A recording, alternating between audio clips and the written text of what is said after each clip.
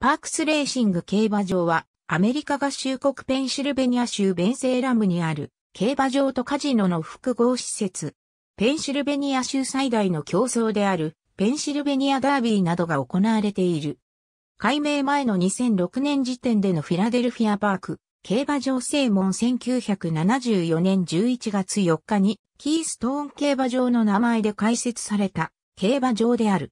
1984年12月28日に ITB 社が競馬場を約4000万ドルで競馬場を購入し、フィラデルフィアパークと改名した。この ITB 所有時代に大規模な改修が行われており、大きなものでは芝コースの開設や電話投票システム、テレビ放送対応などが追加された。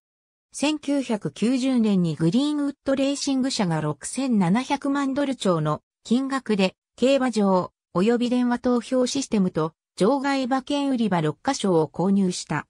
その後、グリーンウッドレーシング所有のもと、2010年にパークスレーシングに改名されている。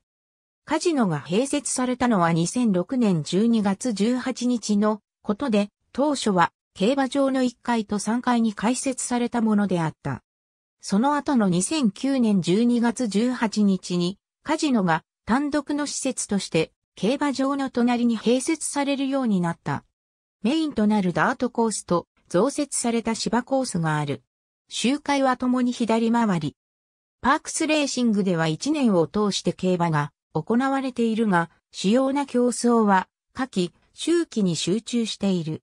最大の競争であるペンシルベニアダービーは例年9月の最終土曜日に行われ、同日にはコテリオンステークスなども開催される。